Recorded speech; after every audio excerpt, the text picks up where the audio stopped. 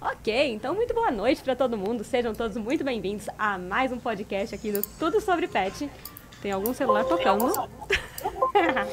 Quem nunca?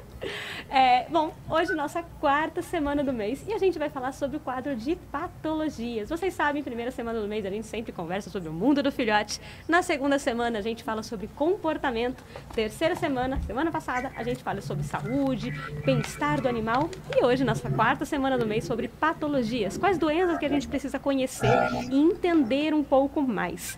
Nessa semana a gente vai falar sobre agosto verde, um mês de conscientização e combate eh, e prevenção, principalmente, a leishmaniose. É uma doença complicada, uma zoonose, e a gente vai entender um pouco mais sobre ela nesse programa, sempre, como vocês sabem, com apoio do IMAC, IMAX, ou IMAX, como você preferir, é um laboratório de exames radiográficos, ou seja, raio-x para os nossos pets. E o que, que, é mais legal? Móvel. Então, eles tanto vão à nossa casa, se a gente já tem o pedido do médico veterinário para fazer o exame no conforto de casa, como também atendem na clínica, aonde a gente já está acostumado a levar nosso pet, que já seja mais confortável para todo mundo e às vezes mais ágil também. Então, se você quiser conhecer um pouco mais sobre o trabalho deles, aqui na descrição do vídeo tem as redes sociais e o, o site deles passa lá que vale super a pena.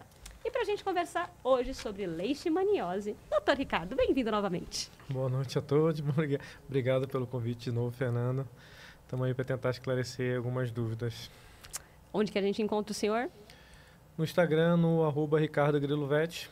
Legal. Preparado para falar de leixe? Sim. Se Deus quiser, vai dar tudo certo, né? Espero que sim. Ana Carolina, bem-vinda. Obrigada.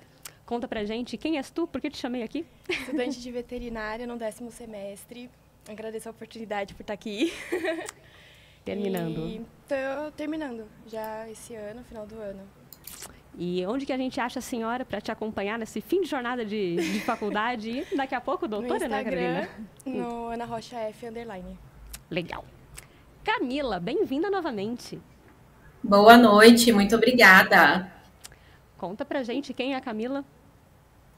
A Camila é uma apaixonada por pets, que tem dois beagles e um vira-lata em um apartamento. Sou bióloga e cuido do Instagram da Cãobada Insana. Legal. Bora lá, meu povo, vamos entender um pouco mais sobre leishmaniose. E você que está em casa, primeiro, já compartilha esse vídeo com todo mundo que você conhece que tenha cães, gatinhos também. Gatinhos também podem pegar leite, já vou dar um adianto aqui, é mais difícil, né?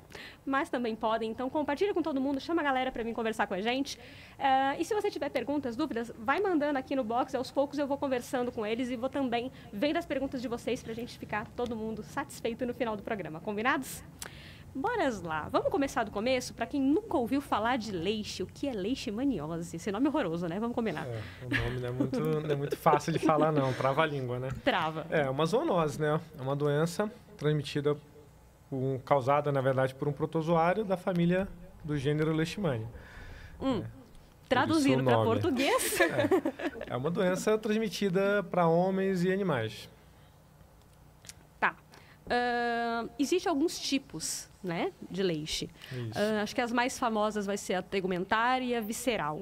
Isso. As duas uh, podem ser transmitidas tanto para o ser humano quanto para o pet? Sim. Não? Como é que é isso? Sim, as duas podem ser transmitidas, né? O que vai diferenciar, na verdade, é o agente causador, é, qual leishmania, né? Existem vários tipos de, de leishmanias. Então, cada uma vai desenvolver um tipo de, de doença. A visceral, a tegumentar, ou cutânea, né? Tanto faz. Então, Tem vai depender muito mais... do agente causador. Tem alguma que é mais comum? Aqui na, regi... na nossa região aqui, sudeste, não. Né? Então, vai depender muito da região, da incidência delas. Né? Mas a visceral, nos cães, principalmente, é mais comum. Tá. Você falou que é uma zoonose. Que raios? É uma zoonose para quem também não conhece esse termo? É, uma zoonose é uma doença que pode ser transmitida do homem para o animal e vice-versa, do animal para o homem, né? A raiva também é assim, também a gente já falou sobre isso. isso. Existe uma série de zoonoses, né? Qual é a diferença, por exemplo, da transmissão? Como é que a gente pega isso do animal num caso e no outro? Ah, da raiva e da leishmaniose. A raiva é transmitida diretamente pelo cão portador do vírus, né? Pela Mordeu. mordida é, ou pelo morcego hematófago, né? Então, assim, são os animais transmitindo de forma direta para o homem. No caso da leishmaniose, não, né? Na leishmaniose, o cão ele é um hospedeiro Ou seja, o mosquito que transmite o parasita, ele tem que se contaminar, então ele pica o animal contaminado, né, o hospedeiro, se contamina e pica o ser humano, transmitindo o parasita para o ser humano. Entendi. Dona Camila, tá quietinha. Sim. Isso não é normal. Estou preparando as minhas perguntas aqui para o doutor Ricardo. Te prepare. Não, mas então, aproveitando esse tema, esse gancho que você falou, Fê, é, não tem como, então, o pet, no caso o cachorro, eu só tenho cachorro, ele transmitir a leishmaniose para o humano. Eu teria que ser picada pelo vetor, é isso? Isso, a transmissão é pelo vetor, pelo mosquito transmissor, né? O cão ele vai funcionar realmente como um hospedeiro. Ele desenvolve a doença também, mas ele funciona em relação ao ser humano como um hospedeiro. Mas assim, ah, claro, entendi. você tem um cão contaminado, você tem o risco de se contaminar, porque o mosquito é um, é um inseto que é difícil você conseguir evitar 100% dele, né? Então tem que ter as medidas profiláticas, tudo que acho que a gente vai conversar aí ao longo das perguntas, né? Em breve. Eu acho que o caminho inverso também é, acontece, né? Se eu tenho tem mais chance do meu cachorro pegar. Desenvolver também, sim. E aí acaba que regiões que não são muito endêmicas podem acabar tendo casos, né? De animais ou ser humanos que acabam mudando de região, né? Cães e gatos podem pegar, mas é mais normal em cães, é isso? Isso, é bem mais comum em cão. O gato tem mais dificuldade, na verdade, do parasita desenvolver no, no organismo do gato. Mas, mas tem vários relatos aí de gato contaminado, sim. em gato, né? É. Pega bastante o gato assim na clínica? Como eu trabalho no hospital aqui em São Paulo, é, a incidência é bem pequena ainda, né? Mas já peguei alguns casos, de, principalmente de cães que vieram do interior de São Paulo.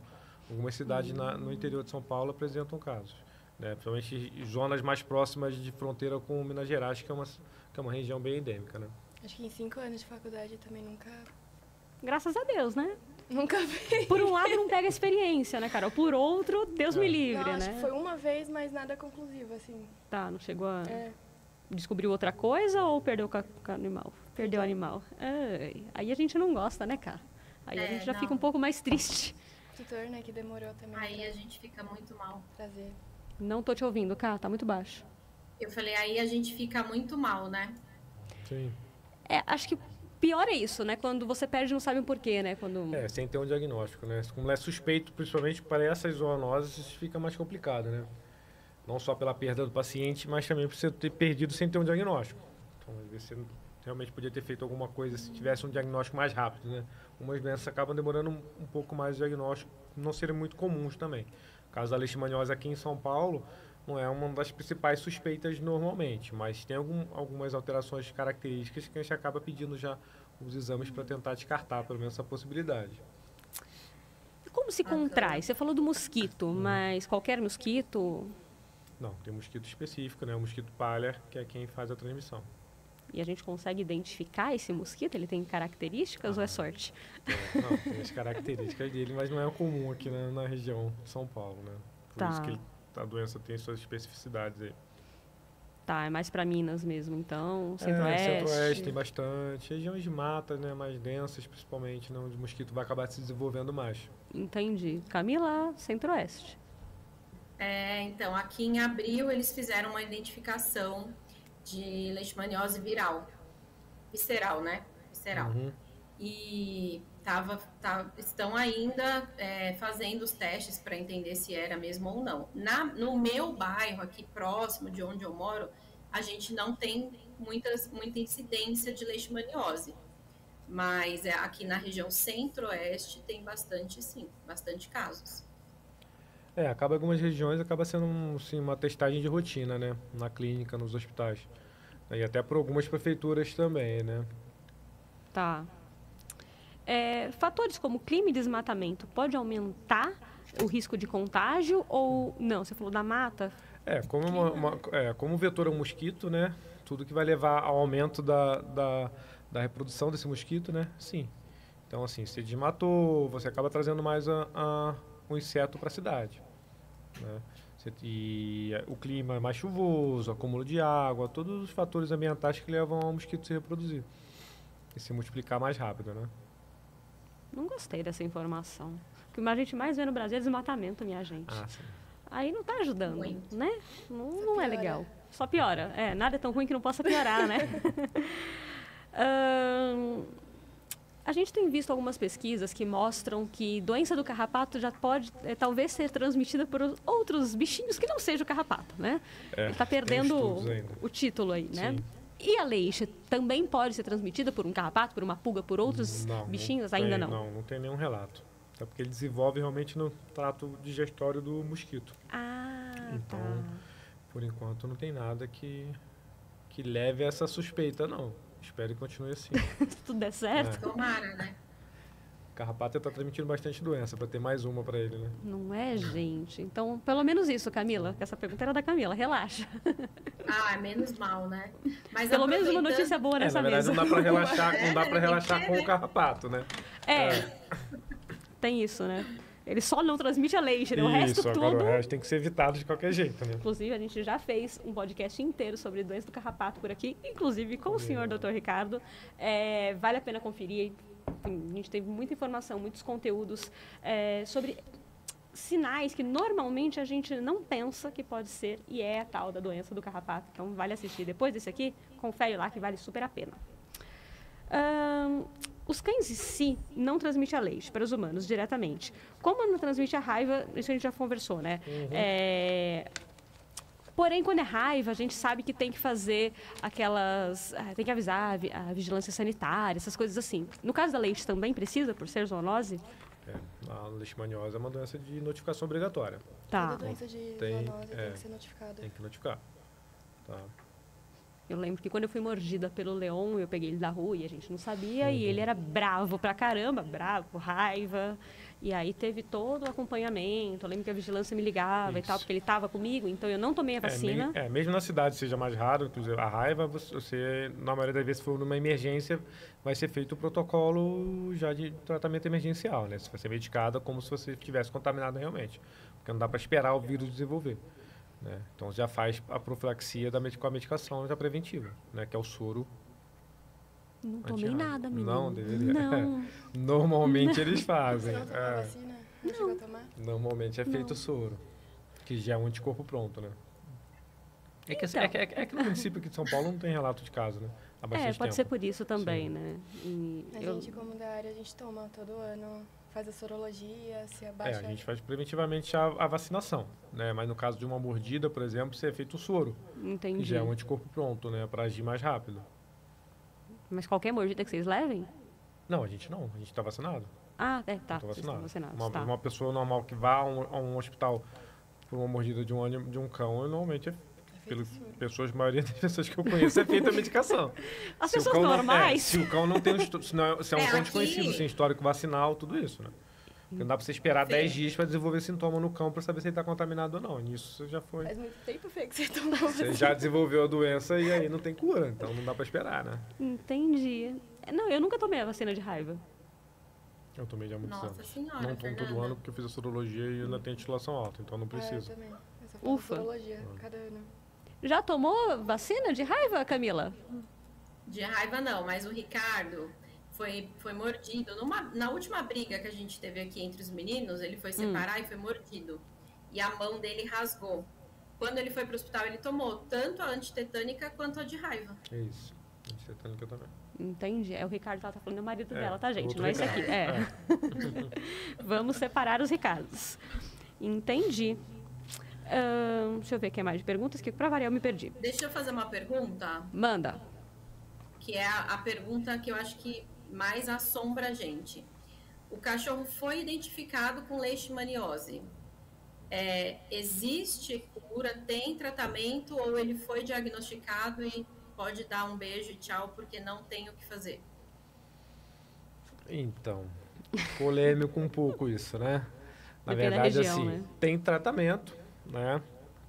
Tem tratamento reconhecido, de eficácia, é, só que existem algumas leis que proíbem o tratamento.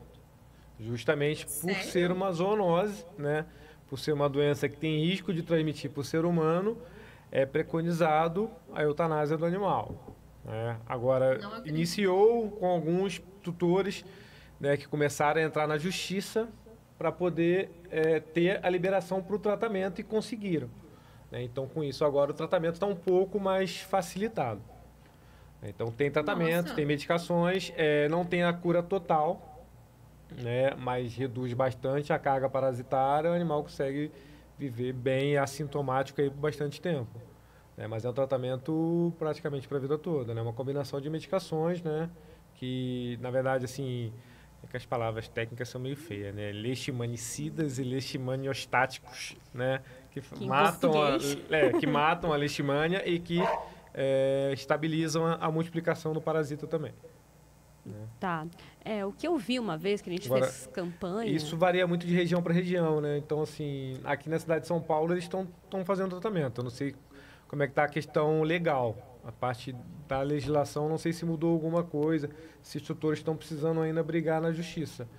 Mas eu acho Ah, que isso varia muito de região para região. Uma amiga minha falou Vou que pesquisar como é aqui em Goiânia. pegou, só que não tinha até então tratamento, essas coisas.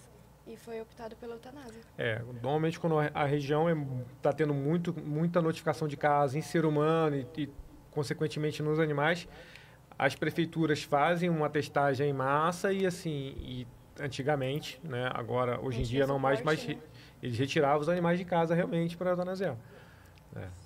Nossa, difícil, né, gente? Nossa, que horror. Leva seu bicho embora e. É, é chato, desagradável. Mas hoje em dia isso já não está assim mais, porque já teve um controle maior também, né? Já não está tendo tantos surtos assim de como leite. tinha antigamente, né? É, eu lembro que a gente fez uma campanha na Matilha sobre leite, acho que em 2021, e aí a gente estudou um pouco mais na época. E eu lembro que era para um laboratório veterinário, e a gente fazia, né, em Agosto Verde, fazia o teste naqueles animais que estavam na campanha. E tinha uma das meninas que era de Florianópolis, e ela falava: Gente, eu tô morrendo de medo, porque vai que isso dá errado e dá um positivo, aqui não tem escolha, aqui é eutanásia, Lá em Florianópolis. lá em Florianópolis. É, então. Então. Porque provavelmente é uma região que não tem casos. Então, se chegar um cão positivo lá, você não pode arriscar de, desse cão transmitir, porque você tem que estar confiando também na, na credibilidade do tutor, de cuidar desse paciente, para não deixar ele ser um, Sim, um, um, vetor. hospe- ali, é, um hospedeiro, um, um reservatório ali, porque vai, se não fizer a prevenção no cão dele para o mosquito não picar, Sem controlar, né? e aí vai acabar transmitindo para o município todo. Mas, mas agora eu fiquei com uma dúvida, porque se a- o, o pet não pode transmitir a doença para o humano, só o vetor, que no caso é o mosquito. Se o pet, vamos supor que um dos meus pets tenha leishmaniose, eu não corro o risco de pegar, porque, é, a não ser que eu seja picada. Por que, que ele tem que ser eutanasiado se eu não corro o risco, se não é uma doença Na- viral? Se eu não Na verdade, você corre o risco doença? porque você vive no mesmo ambiente que o seu cão. Então, o mosquito que picou o seu cão vai picar você. Ah, E não dá E eliminar e todo o e pernilongo não que tá em existe casa. um, é, e não existe um repelente 100% eficaz, né? Que você vai usar de prevenção para o cão são os repelentes. Né? E você não pode garantir nenhum produto que seja nenhuma, nenhuma indústria garante 100% de eficácia no repelente dele. Até porque depende também da, do, de você estar usando corretamente o produto no seu animal, né? Tá mantendo ali a coleira, os produtos repelentes periodicamente. Quem vai garantir que você vai usar? Você vai ter responsabilidade. Então o município não pode pensar individual, né? Tem que pensar no coletivo, infelizmente. Com certeza. Ai, que coisa difícil, gente. Né? Vocês aí em casa, o que, que vocês estão achando? Ai, ai. Existe alguma forma, você falou das coleiras, né? É uma coleira fixa? Ou você passa alguma coisa numa coleira? Doutora, a col- a coleira Seresto, ela... Não, não tem indicação para leishmaniose. São algumas coleiras específicas. Coleira é igual para pulga carrapato. É a mesma coleira. Ah, é a também mesma. tem indicação para ser repelente de mosquito. Mas não é uma coleira só para leite. Ela tem todas essas não, repelências, é, isso? São algumas coleiras que também, além de pulga carrapato, também fazem a prevenção do mosquito. E medicação para se tomar não tem nenhuma Não. que a gente possa Não. dar que fala não, toma esse remédio aqui que você vai ficar Não. isento de pegar, de ser picado. Não, medicação via oral não. Nem os, pro- os produtos é, antiparasitários via orais também não. Estão precisando melhorar a prevenção, né? É. Mas se não tem no Estão homem... precisando estudar mais sobre o não tem, assunto, né? né? Que foi, cá? Estão precisando estudar mais sobre o assunto. Isso. Os biólogos, inclusive. Não é só os veterinários. É, Outra é. pessoa já. Verdade. Vocês três aí. Só quem não tem que estudar isso aí sou eu, gente. né? A É, design assim, tá acabar livre. com o mosquito é praticamente impossível, né? Esse é o problema, né? Então, senão você não teria dengue, você não teria nenhuma outra Não doença, que, milhões de doenças que são transmitidas pelos mosquitos. Não Então, só os mosquitos, né? os carrapatos também. Sim. Vamos combinar, né? Até porque, É. Hum. infelizmente, os insetos fazem parte de, de um ciclo, né, que precisa existir. Também desequilibra o ambiente também, se você não tiver. Não ajuda, mas também não. É. É, oh Deus do céu, né, gente? Pra gente não serve pra nada, mas pra alguns animais eles são alimento também, então... Mas esse animal que se alimenta dele é útil pra alguma coisa ou é inútil igual esse? Porque às vezes tem uma cadeia É, inútil vira uma ali, bola né? de neve. é. Exato. Um sapinho, por exemplo, não serve pra nada. Pois é, alimento da cobra. E a cobra? que horror. É, tá. Ok, já que a gente não consegue eliminar, a gente precisa pelo menos entender os primeiros sinais para tentar socorrer. É, quais são os sinais clínicos que a gente precisa observar do cachorrinho e do gatinho, talvez? É, então, na verdade, é, pode se manifestar de milhares de formas. Né? Hum. O que é mais comum, o pessoal acaba chamando mais atenção do, do médico veterinário do doutor, as lesões cutâneas, né? a perda de peso, de pelo, aquelas regiões, regiões Uhum. alopécicas, né? que é bonito falar, mas é queda de pelo. Tá. E Fo- a foco unha, sem pelo. né? principalmente o crescimento irregular da unha. Então, o que chama atenção normalmente é aquela unha crescendo de forma errada e acima do normal. Então, chega aquele cachorro com aquelas unhas toda torta, toda curvada já de tão grande. Que machuca até o coxinho, né? É, Ah, quando vira Quando assim. vira. Aí machuca, pode é entrar, mas assim, né? é, na internet você vê até umas imagens de, de cães com, com essa alteração nas unhas que são bem características mesmo da doença. Tá. É... O cara pode começar com perda de apetite, como a Ana falou, com lesões neurológicas, às vezes, né? alterações gastrointestinais, alterações de linfonodo, então pode manifestar de várias formas. O cão que a gente, que eu, que a gente diagnosticou foi por aumento de linfonodo. E era um filhote de pastor que veio de, realmente do interior, não lembro, certa cidade de São Paulo que tem, que tem alguns casos, não sei se é Bauru, não lembro direito a cidade e testou realmente até por função do, do linfonodo e, e- e encontrou parasita e foi positivo. E tratou? Infelizmente não, esse o tutor optou pela eutanásia. Ai, É, gente, por que decisão. É, por preocupação, na verdade, até entendi o lado dele, por causa da família, de filhos, tudo isso, ele ficou com bastante medo. Isso já tem uns, um- quase 10 anos atrás, então assim, não tinha também tantas colheiras tão eficazes Uhum. para a prevenção, então ele optou por fazer eutanásia. Mas já tinha tratamento. Não sei de quando é o tratamento. Hum, Já tinha tratamento, na verdade, sim, tratamento sempre teve, não era Ah. autorizado tratar. Tem a vacina, não tem? É. né? É, É a isso. única vacina liberada né, é a probleminha. é, que tem liberação do Ministério, mas que também tem um pouco ainda de é, dúvidas sobre a eficácia É, dela. A própria fabricante, Existia outra né? também da Zoetis que também saiu de linha. E sem justificativa também, É. porque provavelmente por eficácia realmente sem comprovação, né? É, às vezes o próprio laboratório fica na dúvida e fala, deixa pra lá, vamos estudar sim. um pouquinho mais. Mas Calma é aí, tirar do gente. mercado para poder Sim, in- investir melhor na pesquisa, né? sim. Ah, comentários. Maiara, adorando ouvir essa conversa. Muito importante falar sobre zoonoses. Pois é. Ah, quais os principais sintomas? É isso que a gente acabou de conversar. Da Elisa. E a Fabiane estava sentindo falta do Dr. Ricardo aí no pod. Pois é, já trouxemos de volta. Tarda, mas não falha. Ahn, exames para diagnosticar. Quais são? Como é que funciona? Demora muito? É, mais ou menos igual na doença do carrapato que a gente conversou, né? Não tem aquele exame 100% preciso. Vai Ah. depender da fase da doença, do quadro clínico do paciente, que o veterinário vai indicar o melhor exame para o momento, né? Vai variar muito, assim, é que não tem como você é, prever quando o animal se contaminou. Então, dependendo da fase da evolução da doença, alguns é, exames vão ser mais eficazes do que os outros. Mas, assim, exames sorológicos, é, exames parasitários, que é a pulsão de linfonodo, lesão de pele, que você vai ver o parasita realmente, e os PCRs, né, que são os exames que vão identificar o DNA do parasita. Tá. Camila tinha perguntado, Elisa faz também? Tem Elisa para leite? Tem, tem, Teste rápido, né? tem, tem sim.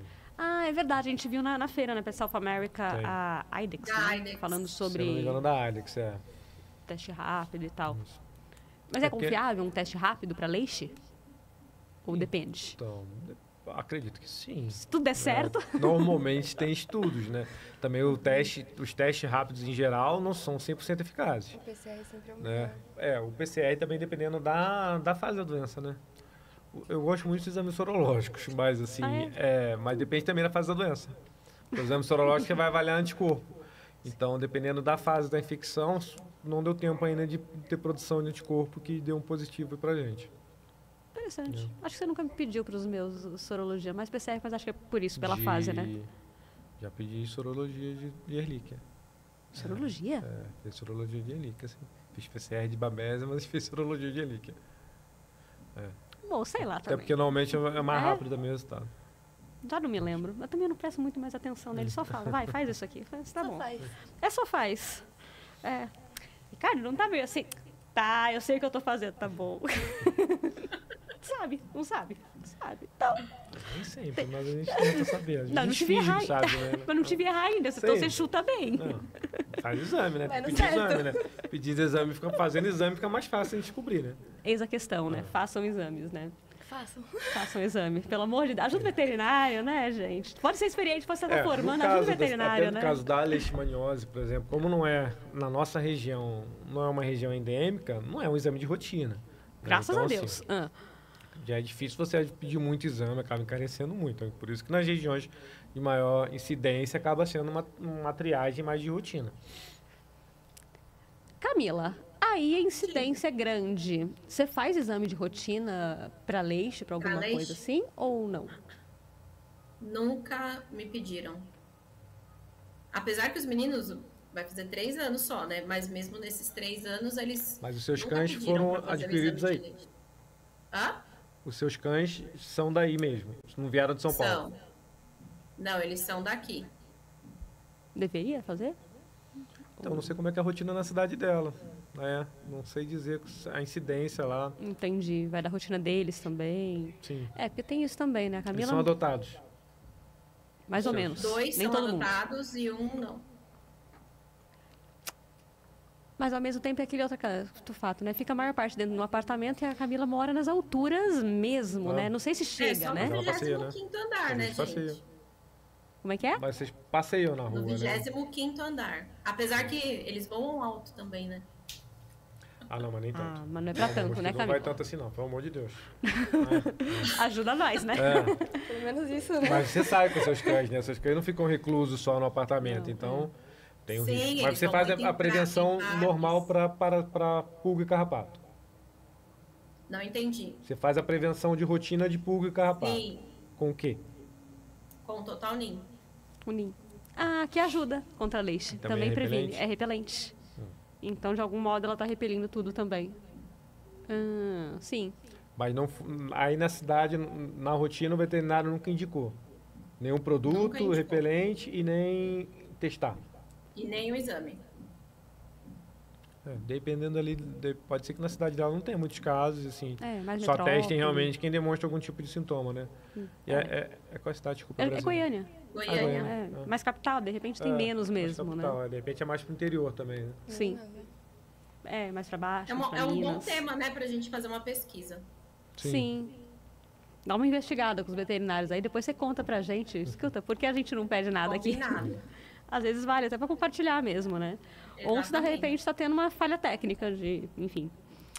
É, aliás, tem um detalhe, ela mora no 25º andar e ela sobe de escada às vezes com eles, pra gastar a energia do Beagle. Eu acho que ela é maluca, e vocês? Nossa, quer levar a Pandora? O pessoal faz escada na academia, né? Então, o pessoal paga pra fazer Eu escada na de academia, graça porque você não pode fazer no prédio. Hã? Queria saber o tanto que leva. Ela já falou que vai filmar, mas nunca filmou pra gente, O sabe? tempo? É, porque é 25 Ah, andares. Eu acho que eles chegam muito mais rápido do que ela, né? Você solta Ah, eles pra subir é- ou você vai junto? É, mas não, não pode soltar, né? Que vai que alguém abre a porta eles somem. Entra no Eles corredor, têm que né? ir comigo, então eles vão no No ritmo ritmo. mais lento, né? Eles vão pé da vida, né? Ou seja, eles não gastam energia, quem gasta é ela, né? É. Porque além de subir a escada, tem que segurar eles, né? Ainda tem que conter. Entendi, você tá economizando a academia, você não tá segurando eles, entendi. É, 25 andares é Exatamente. Deus me livre, né? Ahn, qual é o principal caminho? Tem um, tem um da evolução da doença? Tem uma coisa que é mais normal? Ah, é a unha, depois acontece isso e aquilo? Ou só eu saber? É, Na é verdade, mais comum ver na área dos olhos também, né, Ricardo? lesão ocular também pode ter, mas assim, vai muito do, da imunidade do animal, né? Do estado Tá. do quadro clínico do paciente contaminado, da- vai evoluir de uma forma mais rápida, mais lenta, vai demonstrar um tipo de sintoma ou outro, então vai variar bastante. Por isso que assim, às vezes não é fácil também de você já identificar já de- no exame físico, por exemplo, e já pensar numa leishmaniose numa região que não é endêmica. Entendi. Tem uns dois anos, mais Assim ou como outras doenças, no caso do doença do garrapato, se fosse o seu cachorro, né, que começou com uma lesão no olho, não tinha sintoma nenhum, às vezes Não, eu fui no oftalmo, não levei Não. pra você.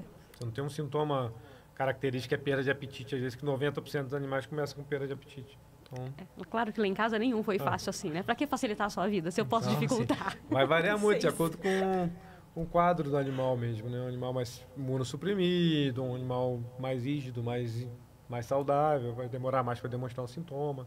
Vezes uma Entendi. lesãozinha de pele que não cicatriza, aquela feridinha chata, ou a unha realmente começa a crescer, a, a perda de, de peso e de pelo, né? Vai variar bastante. Entendi. Coisa de uns dois anos atrás, é, eu lembro de um caso no Instagram de, uma, de um show show. É, eu olhei pra ela porque ela também tem show show. gente. Ricardo não tem show show, não vou olhar pra ele. É, e pegou e tal, leite é de São José dos Campos e demorou bastante para diagnosticar. E é achava- lá da cidade. É, e ele é de lá. E, nossa, e demorou bastante até para diagnosticar. E quando diagnosticou, ainda, nossa, foi, foi sofrido, assim. É um tentou meio tratar. complicado, né? É, tentou tratar. E diz que é muito caro o tratamento também, né? É, cara. É, então, esse é um fator também bem limitante no tratamento. Né? Nem sempre o tutor tem condições de tratar. E não é uma medicação fornecida pelo governo. Né? É, Muitas nada vezes ajuda. a medicação é importada, tudo isso dificulta também a importação, tudo isso é complicado. É, eu lembro que ele ficou internado várias vezes, teve transfusão sanguínea e tal. Eu lembro que ela fez vaquinha, tentou muito salvar. E ali, no mesmo ano ele chegou a falecer e tal. Enfim, novo, tinha o quê? uns três anos no máximo. E eu vi semana passada, por acaso, a gente já tinha marcado o podcast, também um outro show ah, contaminado, mas no Nordeste, não me lembro o estado, não sei se era Ceará, Pernambuco, alguma coisa assim. Eu não sei como é está a incidência pegar. no Nordeste e no Norte. Acredito que no Norte deve ter mais que no Nordeste. Né? Tem a Amazônia para é. proliferar o, per, o pernilongo lá. No o Norte tem mais mata que a gente tenha mais casos, né? Mais calor, talvez, né? Ajude. Umidade, né? Na verdade, não é só o calor, né? É aquele, aquela umidade toda, né? Que favorece a proliferação de mosquito, principalmente. Entendi. Agora, um cachorro tão peludo não deveria conseguir espantar mais mosquito, gente? Sim. Não? Sim, o pelo protege, serve como proteção também. Ou deveria, né? É, Mas existem regiões com menos pelo, né? Mesmo um animal peludo tem regiões com menos Ah, pelo. que orelha, pode. barriga. Orelha, abdômen, focinho, próximo aos olhos, normalmente. Então, um cão mais tranquilão, mas o mosquito vai lá e não tá nem aí. É, dorme mais que tudo, né? Enquanto tá dormindo, estão ali se alimentando Sim. deles. Oh, Deus do céu. Entendi. É E isso. quando um cachorro tem leishmaniose, é, foi detectado com leite e acaba falecendo, existe algum período para a gente ter um novo filhote dentro de casa ou não tem nada a ver, eu posso em seguida já ter um novo filhote? Não, não tem. Não é uma doença que vai estar no, no ambiente, né? Que vai ficar reclusa ali. O, É viral, a- né? o protozoário solto. Ele, tem, ele precisa do vetor, né? Ele precisa do hospedeiro e do vetor. Se você não tem um vetor nem um hospedeiro, o apartamento, por exemplo, não tem problema nenhum. Ah, legal. E nem todo mosquito é o vetor, né? O mosquito também tem que se contaminar. Né? O protozoário não nasce no mosquito. Mas tem caso, no caso do cão também, já de transmissão de mãe para filhos transplacentária. Não Ah. pode desenvolver também. Tá? Animais gestantes. É por isso que você pergunta se é da cidade, alguma coisa assim? Sim. Porque pode ser. Sim, Ah, depende de onde veio, né? No caso que eu peguei o cachorro no início do tratamento, você não pergunta de onde veio o cachorro. E depois que a gente acabou investigando, suspeitou, questionou o tutor e falou, não, esse cachorro veio da cidade tal, a gente pesquisou, ó, tem incidência lá, vamos testar. Testou e deu positivo. Entendi. É, a gente falou do tratamento. Ele é caro, ele não cura, mas ele controla ali a, enfim, a quantidade de parasitas e tal, e aí Uhum. faz com que o cachorro dificilmente transmita. Acho que não dá nem para falar que ele não transmita, né? É, não, ele vai transmitir. Agora, tem Ele um. vai reduzir sintoma no paciente, mas não vai evitar dele transmitir. Ah, é? Então, é. Eu tinha entendido que como reduz a carga Não, você vai parasitária. reduzir, claro, a chance vai ser menor, mas não, não, não isenta ele de transmitir. é. Dificulta, Dificulta, mas mas, não não, isenta. Não, isenta. dá para Tá, garantir. Então é isso mesmo. Ahn, existe uma base de quanto que esse tratamento tem sido eficaz ao longo da vida? Ou quanto, quanto de sobrevida ele entrega para esse animal? Ou Então, não tem um, um parâmetro, porque, até porque é um tratamento teoricamente novo ainda, para você ter muitos dados, né? É uma doença que não era permitida nem você tratar. Então, você Já não tem... pela eutanásia de cara. É, né? e muitas vezes ainda é, ainda é feita a eutanásia, né? Então, assim, não tem uma estatística de... Mas outro, os animais que já foram tratados tiveram uma evolução muito positiva. tá? Uma sobrevida bem confortável, bastante tempo aí, sem ter grandes complicações. Tomando todos os cuidados, óbvio, né, Sim. que você tem que ter se você tem um comportador. Né, e o tutor ter a consciência dos riscos também que ele pode correr. Entendi. Na faculdade, tem um estudo mais focado nisso ou não? Não. Vocês que, se, A vocês que gente lutem. aprende mais na prática, né? Na faculdade a gente pega ali a teórica, mas na prática a gente pega Sim. mais pesado. A gente vai mais a fundo no assunto. Por isso, tanto, tanto estágio, para ver se que a faculdade não ajudou. Inclusive, eu fiz estágio desde acho que do meu terceiro semestre, segundo semestre da faculdade e até hoje foi uma vez, mas que a gente suspeitou da doença, Sem comprovação Mas ainda. não Não, deu tempo. comprovação. É, não tem jeito, né? Mas umas doenças que você não tem uma rotina grande, você tem que estar o tempo todo estudando, né? Então, se você suspeitou, você vai correr atrás, você vai estudar, você vai investigar, né? Não só meio diagnóstico, mas também os tratamentos e os sintomas, né? Mas doença, uma doença que não é de rotina, né? fala muito por cima, Sim. né? Jogam, explicam ali É. mais ou menos Isso como existe. vem. Mas ali na prática você que Você que lute. você que lute. A faculdade abrange tudo, né? Então, assim, é, muitas coisas você tem que partir para estudar por conta própria depois também, né? É uma coisa que eu fico pensando, né? Vocês têm cinco anos de faculdade para estudar um monte de bicho, né? Medicina humana são seis anos e é um bicho só. Não tem nada errado na conta, gente. Tem. Não Tem é? porque- Pare e pense. Não faz sentido, né? Não. É, a tendência é cada vez mais isso está se dividindo um pouco mais, né? Então você partindo dentro da graduação já para as áreas mais específicas. Para poder justamente você poder concentrar mais os estudos nessa área, né? É porque, gente, Porque não faz sentido uma pessoa também que quer só trabalhar com clínica de pequenos estudar aves, por exemplo. sim, grandes, produção. é, Inspeção, tudo isso.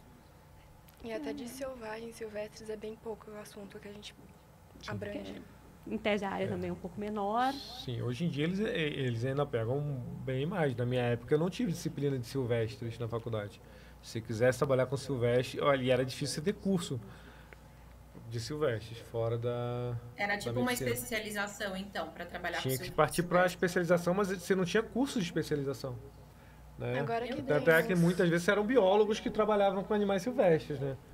É, a gente estuda todos. Sim. É outra também, né? Porque no seu caso ainda é pior, porque é quatro anos para estudar tudo.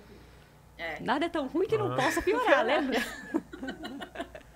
Mas hoje em dia a medicina animais silvestres evoluiu muito, né? A gente que já se formou há um bom tempo fala mesmo que não teve tais matérias e hoje a gente está tendo. A gente fica, nossa, evolui também, graças a Deus. Sim, tá vendo? Tá difícil, mas já foi pior. Já foi Já foi pior. bem pior. Já foi bem pior. Daqui a alguns anos, quem sabe, alguém vai estar falando também alguma coisa de algum assunto que eu não tive. Sim. Que eu aprendi na Sim. raça também.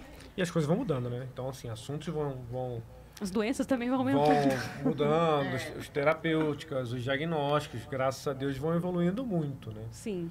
Não- os, os diagnósticos, principalmente, evoluíram bastante, né? É, não dá pra parar de estudar, né? Não, não dá para estudar. Se tivesse parado lá quase 20 anos de carreira, você tava lascado. É complicado. O complicado. problema é que tem quem para, né? É, Essa é a problema, questão. Tem bastante gente que para, realmente.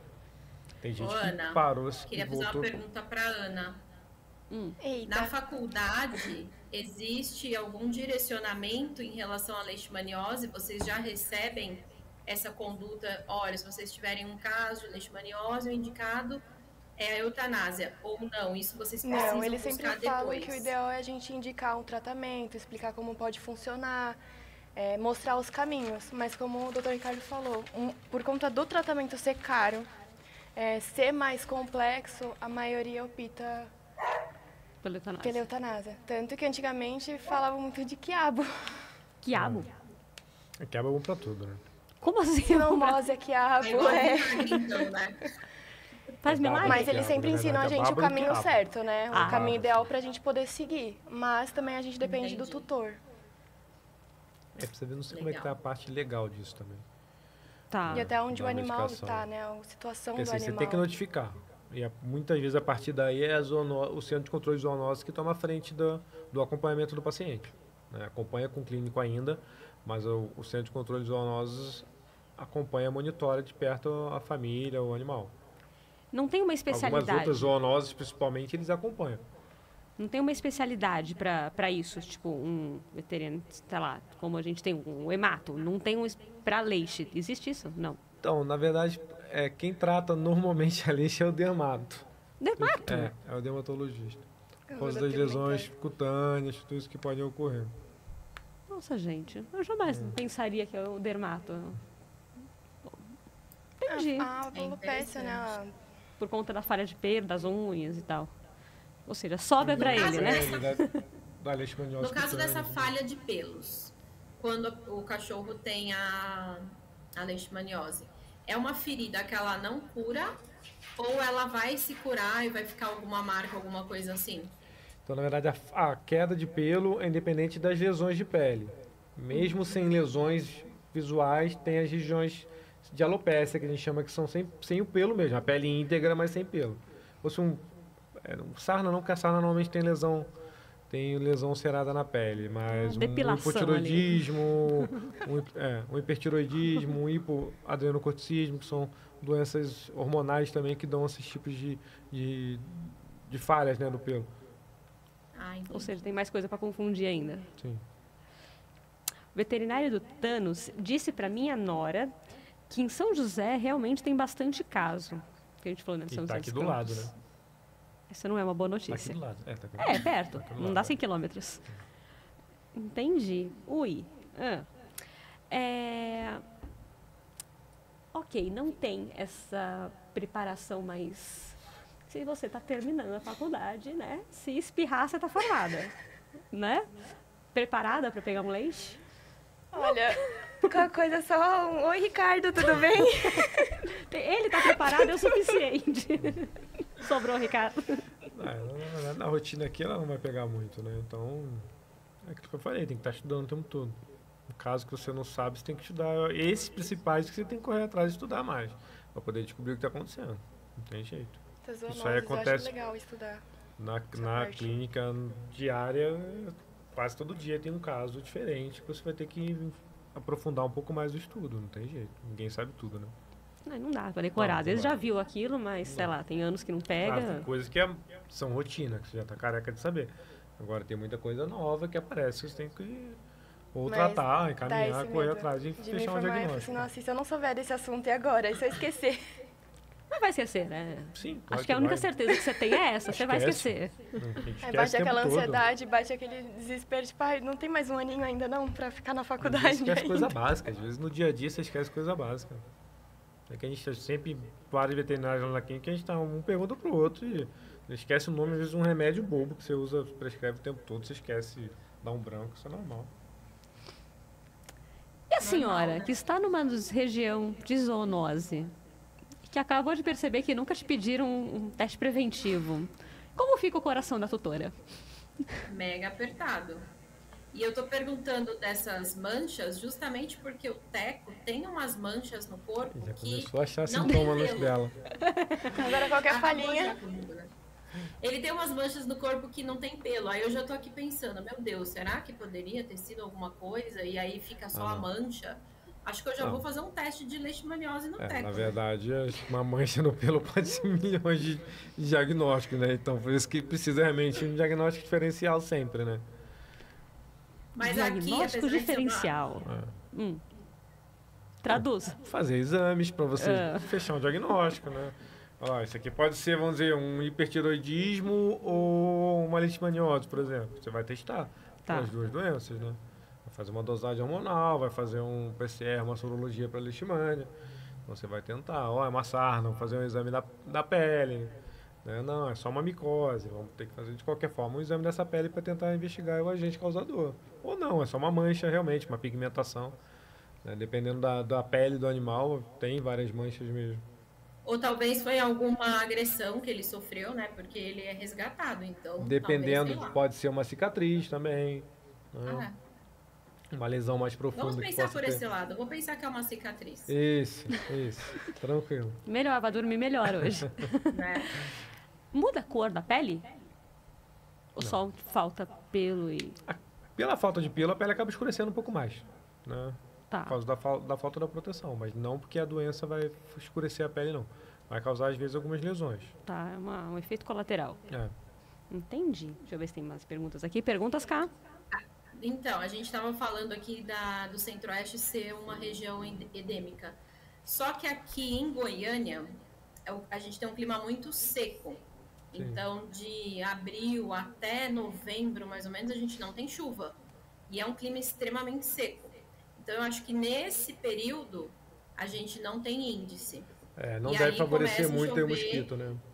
É, então, e aí começa a chover em novembro, que é quando Isso. começa a ficar úmido. Então, pode ser que nesse período de novembro até abril seja um período de maior incidência. Eu vou dar uma pesquisada nisso para depois compartilhar é. com vocês. E aí vocês têm problema com outras doenças transmitidas por mosquito? Por exemplo, existe no verão, por exemplo, como é aqui na, no Sudeste uma incidência de dengue, de outras doenças causadas Aqui por a gente tem muitos casos de dengue, principalmente então, dengue hemorrágica.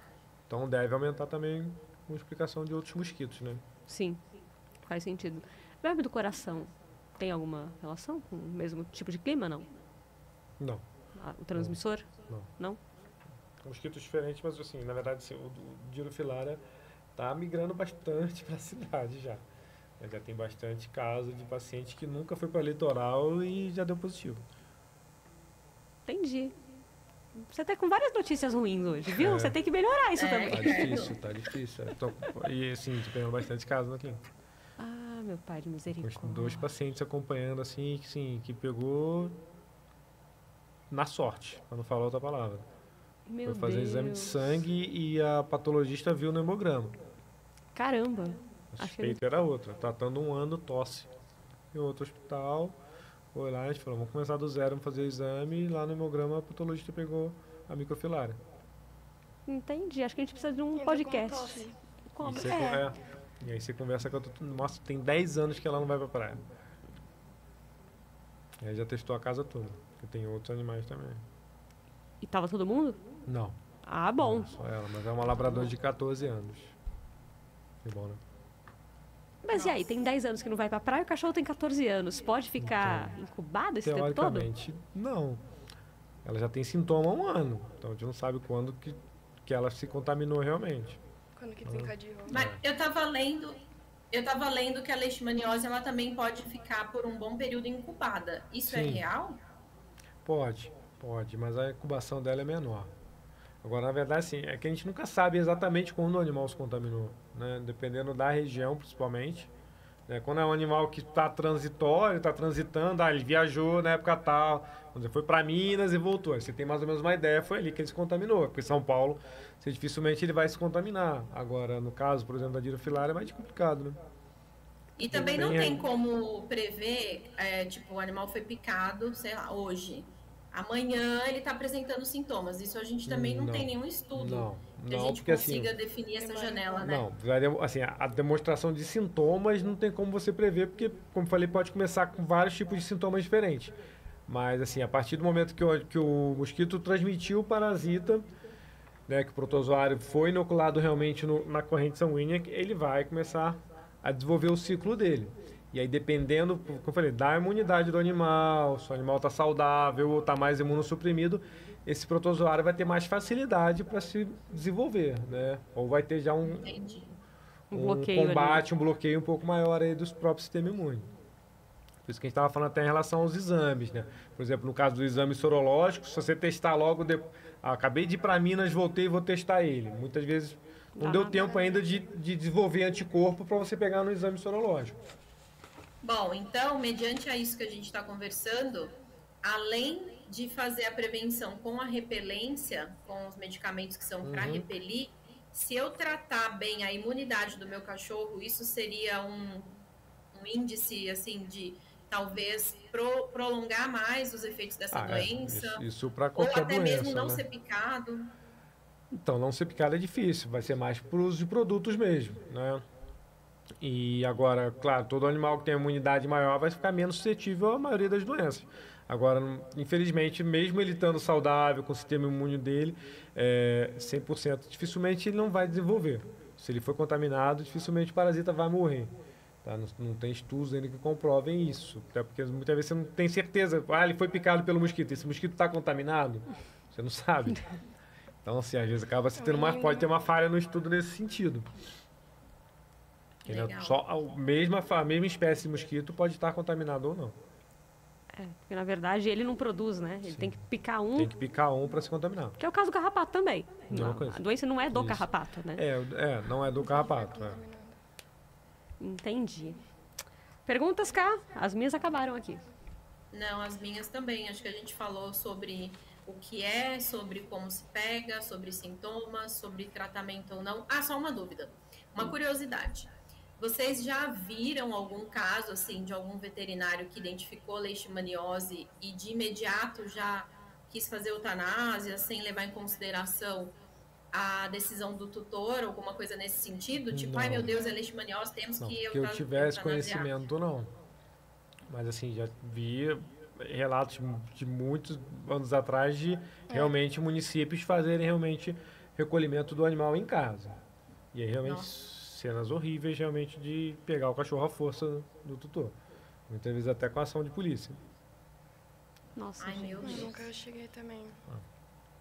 É. Ainda bem, né? Menos mal, ah. né? É. Uh, bom. Na verdade, assim, o veterinário ele tem que estar sempre notificando o é. centro de controle de zoonose da região dele, né? Porque senão, assim, aí sim ele pode realmente ser punido. Porque assim, você não, você não, não vai ser impedido de tratar, mas você tem que notificar. Né? Você vai Entendi. tratar, mas tem que estar notificando para poder a zoonose também fazer o acompanhamento do, do, animal e da família. Entendi. Pensando, claro, no bem-estar geral, né? E assim, esse animal positivo que está em tratamento, ele tem uma rotina né, de controle, não só de exames, realmente, não para você testar ele toda hora com a doença, mas para você é, avaliar. Tá, isso, avaliar não só por causa do, do, uso da medicação, né, que pode também trazer efeito colateral, mas também para ver o quadro de saúde desse paciente, né? Quanto mais você mantiver ele saudável, evitar que ele também desenvolva outras doenças, né, que vai causar mais uma imunossupressão nele e acabar tendo mais sintomas e evoluindo mais rápido a leishmania nele. Acabar mudando toda a rotina dele é. para é, acho que acaba sendo uma rotina mais restrita, né? Porque tanto para ele quanto para os outros, né? Comprar aquelas roupas de proteção de apicultor por nele, né? Tadinho. As fantasias, é. né? Aquelas botinhas. Tadinho. Aí me dá uma dó esse cachorro de botinha de tênis, gente. O cachorro deve odiar tanto aqui. Se eu fosse cachorro, mordia meu dono. Eu aqui querendo comprar. Ah. Ó. Bom, gente, espero que vocês tenham gostado. É, esclarecer todas essas perguntas, essa doença que é tão complicada, mas é, assim como a gente falou quando a gente falou aqui sobre câncer, são, são assuntos difíceis, dói, dói pensar que alguém pode tirar seu cachorro de casa, por exemplo. Graças a Deus não tem acontecido mais, né? Não, não. não. É bom, viu? É bom vocês. É, mas tem que pensar que isso no início, de repente, foi eficaz. De algum né? modo. Para evitar que se acabasse espalhando mais e mais animais acabassem tendo que ser sacrificados. Então. Sim, e humanos, né? É. Porque também não tem cura para o ser humano, tem? Ser humano, acho que tem. Tem? Tem. O ser humano, se não me engano, tem. Não pergunta sei dizer, porque eu sou médico humano. Exato, né? né? É, então tá bom. Eu falei, pergunta é, não é pra já é. ele mesmo, mas vai que sabe, né? Só fiz cinco anos de faculdade, não fiz seis, não. oito, mais bom, dois de residência. É, é que na verdade não ia adiantar, né? Ia ser é, cinco mais sim, seis, né? sim. né? Porque não elimina a matéria, elimina? Acho que não. não de uma para outra. Dizer, não faz não. pergunta difícil, Fernanda.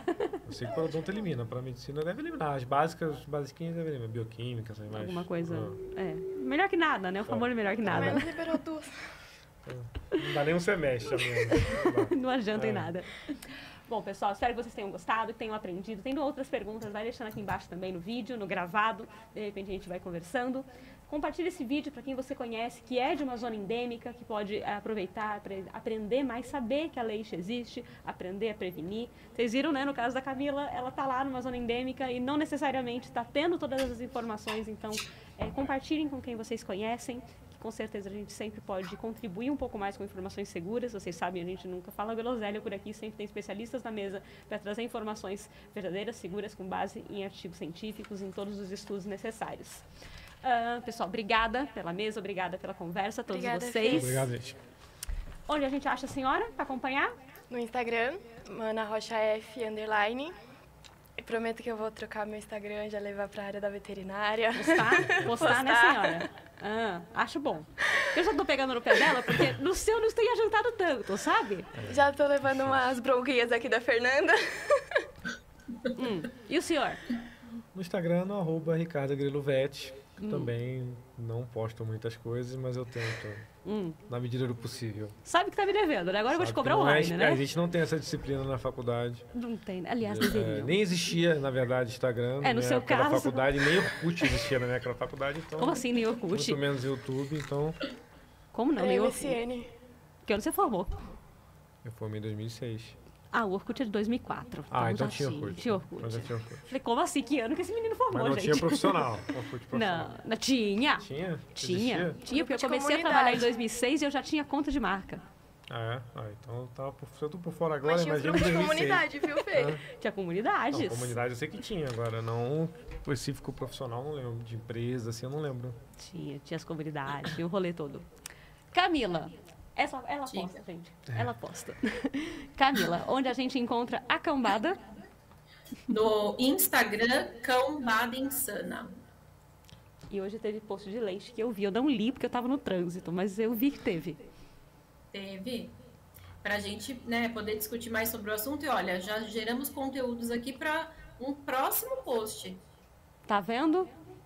As melhores dicas vai pra semana que vem, pra terminar o mês. Já tem Com post. certeza. Bom, pessoal, acompanha a gente também lá no Instagram, tudo sobre pet, ponto oficial. Vem seguir a gente também aqui, se inscreve aqui no canal para não perder os próximos podcasts. E lá no TikTok, a gente está tentando chegar em mil seguidores por lá. Então vai lá, quem tem TikTok, vai lá acompanhar a gente também. Semana que vem, semana extra, né? Temos uma quinta terça-feira no mês, então o tema vai ser pugs. Conhece alguém que tem pug? Já convida a pessoa para vir a participar por aqui, acompanhar com a gente, terça-feira que vem, 8 horas da noite. Eu espero vocês. E é isso. Boa noite para todo mundo. Obrigado por vocês estarem com a Boa gente. noite, a Boa noite. Tchau. Tchau, tchau.